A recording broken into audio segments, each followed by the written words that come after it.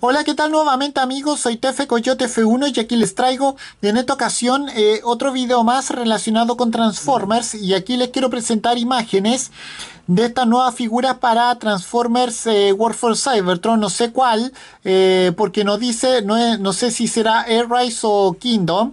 Y bueno, pero las figuras que vamos a ver serán de Blue Streak y Pipes. Y bueno, sin más que decir, vamos a ver las imágenes. Bueno.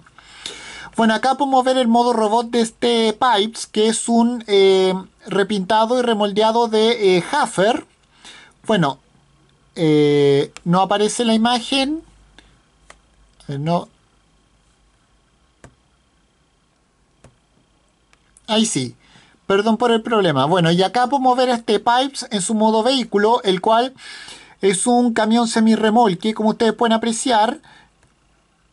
Bueno, y acá podemos ver.